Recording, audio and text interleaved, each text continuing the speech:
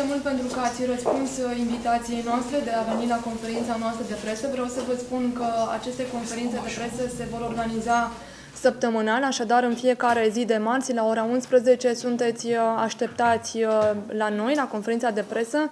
Oricum o să primiți invitația uh, și în adresele dumneavoastră de mail. Pentru astăzi vor fi două subiecte pe care le supun atenției dumneavoastră. Vom vorbi despre organizarea interioară a partidului în ceea ce privește alegerile locale din această vară. Uh, dar și despre un uh, mesaj pe care uh, vrem să îl transmitem Ministrului Energiei, dar și către conducerea ANRE. Pentru început vreau să vă spun în ceea ce privește alegerile, Anul trecut am avut o perioadă de reorganizare și de consolidare a structurilor teritoriale.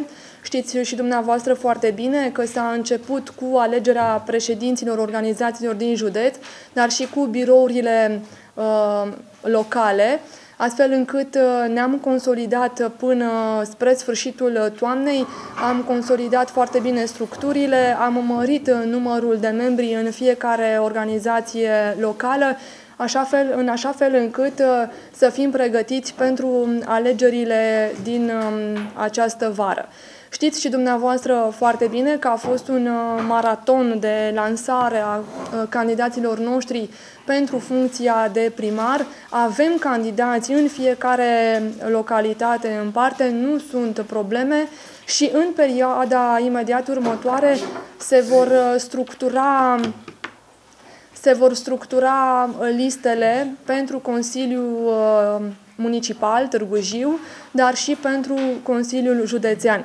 Dacă este să mă întrebați acum uh, de un nume, vreau să vă spun că nu uh, avem creionate uh, aceste liste, dar le vom finaliza până la sfârșitul săptămânii viitoare, pentru că, așa cum știți și dumneavoastră, începând de ieri, pot fi depuse candidaturile la biroul electoral județean, care a fost constituit spre sfârșitul săptămânii prin tragerea la sorți la Tribunalul Gorj.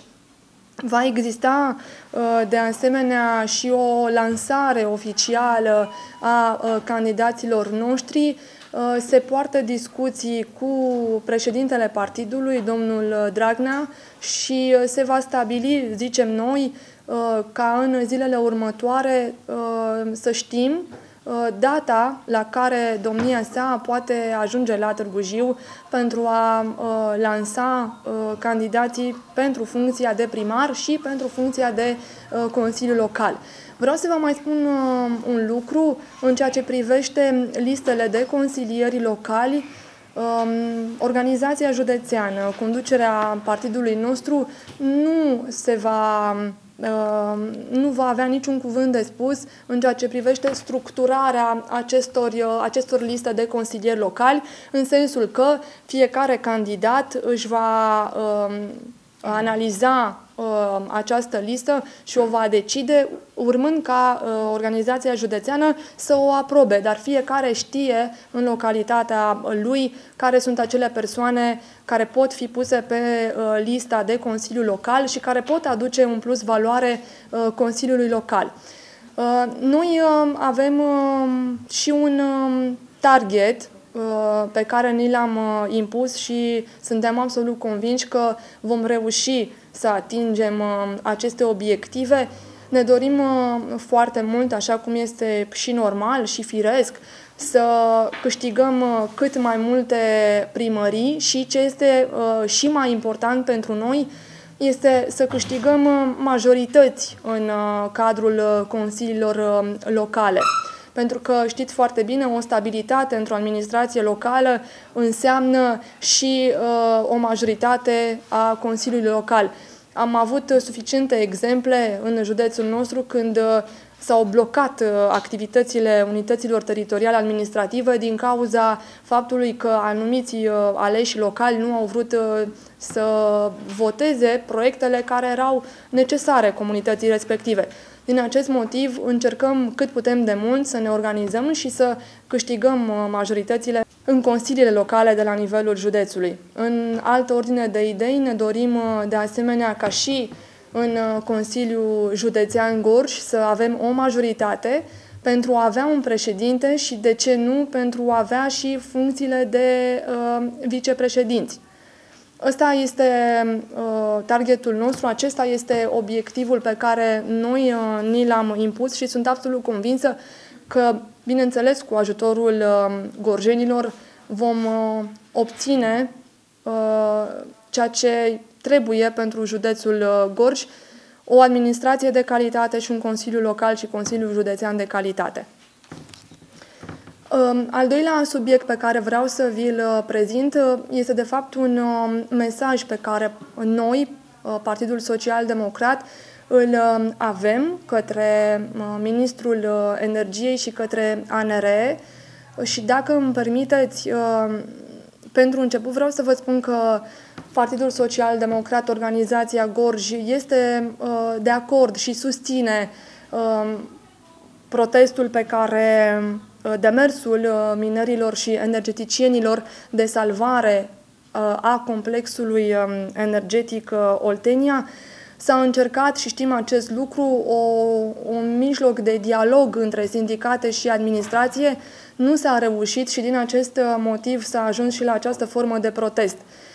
Din informațiile pe care eu le dețin, singura discuție pe care administrația a avut-o cu sindicatele a fost așa și cum și dumneavoastră știți, atunci când uh, sindicatele au fost practic înștiințate despre numărul de uh, disponibilizări care urmează să aibă loc. Uh, nu s-a discutat atunci despre criteriile care stau la baza acestor disponibilizări, despre Uh, plățile compensatorii care ar trebui acordate acestor persoane. Nu se știe de asemenea dacă s-au purtat discuții cu Ministrul Finanțelor și Ministrul uh, Muncii pentru uh, a vedea dacă există buget pentru ajutorul de stat și când spun ajutor de stat mă refer la indemnizația de șomaj și acel venit de completare pe o perioadă de 2 ani. Și trebuie să mai spunem un lucru, în, în contractul uh, colectiv uh, de muncă semnat uh, anul acesta există foarte clar stipulat că aceste disponibilizări au loc sau vor avea loc în urma unor negocieri clare între administrație și, um, și sindicate. Acum nu vorbim decât despre o ignoranță totală a complexului energetic Oltenia, celor care conduc această entitate energetică, a directoratului uh, acestui uh, colos.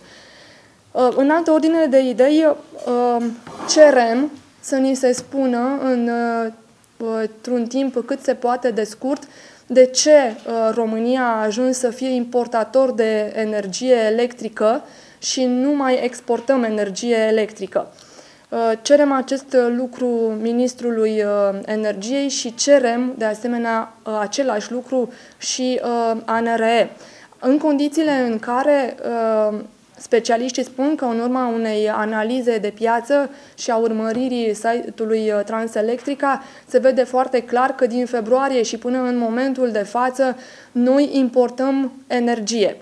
Uh, există intervale de timp uh, dimineața și noaptea când uh, se întâmplă acest lucru și importăm undeva la 1000 de megavați oră.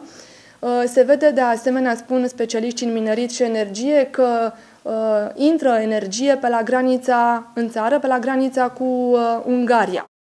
Dacă acest complex energetic Oltenia ar um, furniza energie electrică ar însemna, practic, uh, funcționarea a trei grupuri energetice și merge mai departe funcționarea a mai multor cariere și mă refer aici la jilți, la mătăsari, la uh, rovinari.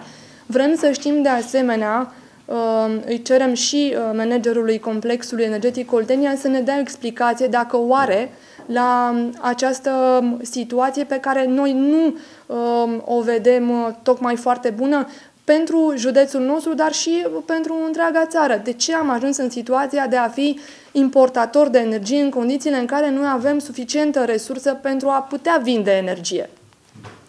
Acestea sunt uh, cele două subiecte pe care noi uh, astăzi am dorit să vi le prezentăm, să vi le prezentăm și vă stăm la dispoziție cu întrebări dacă există. Vă rog. De unde importul? Din ce țări? Păi, noi știm că, um, v-am spus, se ajunge, se intră energie electrică pe, pe granița cu Ungaria și credem că țările de la care se importă sunt uh, Germania, Polonia și Cehia. Uh, din informațiile pe care eu le dețin de la specialiști în minerici energie, că nu sunt uh, eu un specialist. Legislația pe partea de energie înseamnă un număr de legi, de ordonanțe, ați avut guvern, ați avut uh, majoritate în Parlament, încalcă ANR-ul legea sau legea nu e bună? Noi am avut într-adevăr majoritate în uh, Parlament. Știm foarte clar că parlamentarii au uh, luptat pentru implementarea unor legi, pentru crearea unor legi. Știm foarte clar de culoarele de la Jilț Nord, dacă nu greșesc încercăm pe toate pârghile în acest moment și la parlamentari să, uh, prin interpelări și să aflăm ce se întâmplă și de asta facem astăzi și un, uh, um, un mesaj, adresăm un mesaj și încă o dată cerem cât putem de mult ca în perioada următoare să găsim niște răspunsuri la ceea ce se întâmplă cu acest import de energie, pentru că este un semnal de alarmă pentru noi toți, ca județ și ca țară. Deci ANR-ul încalcă legea sau legea Nu știm dacă încalcă legea, tocmai de asta am cerut. Și cerem în continuare acestor instituții să ne dea niște răspunsuri clare ca să înțelegem și noi ce se întâmplă. Camelia Caivani candidează pentru primăria Motru, a plecat din PSD, am văzut niște anunțuri din presă. Așa cum ați văzut dumneavoastră, așa am văzut și noi. Uh, nu au fost purtate discuții la nivelul uh, conducerii partidului nostru Doamna deputat uh, Craibani nu ne-a anunțat de un astfel de demers și noi am fost uh, surprinși uh, când am văzut materiale în presă că domnia sa și-a dat demisia din grupul parlamentar și că în momentul de față figurează, din câte am înțeles și noi, în, ca independent. Și totodată am înțeles că va candida ca independent la primăria Motru. Noi nu avem decât să îi urăm uh, mult succes, multă baftă și considerăm că uh, în acest moment, dacă va continua pe ideea candidaturii la primăria Motru, atunci se va vedea valoarea domniei sale. Dar demisia se dă declarativ în presă sau trebuia să vină la sediu să, să prezinte un document, să facă o demisie scrisă din partid, mai ales ca parlamentar?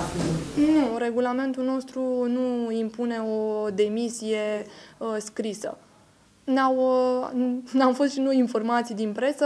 În momentul în care uh, domnia sa se înscrie automat într-o altă formațiune politică, demisia este de, de drept. Îi urea succes să candideze împotriva PSD-ului. Nu, eu spun altceva. Dumneavoastră ați înțeles greșit. Eu îi spun că Partidul Social Democrat, Partidul Social Democrat, dacă îmi permiteți, uh, și implicit uh, domnul primar Hanu, dar a, uh, și cu sprijinul conducerii organizației județene, a mers de mână cu domnia sa în campaniile electorale. Eu vreau să vă spun că pentru Partidul Social Democrat nu este o pierdere. Atâta timp cât uh, doamna Craibani nu a fost inclusă în uh, echipa uh, PSD Motru, în acest context spunem că se va vedea valoarea domniei sale. Suntem și noi curioși să vedem ce electorat are doamna Craibani la Motru. Da, a fost probleme pentru PSD, că candidatul la Motru va solicita să candideze din partea partidului și n-a fost lăsată. Nu s-a pus niciodată, nu au fost, am văzut. S-a interzis să iese în presă cu anumite declarații. Păi să și spună, să și spună cine i-a interzis acest uh, lucru. În rândul partidului... De a candida la Motru? Nu.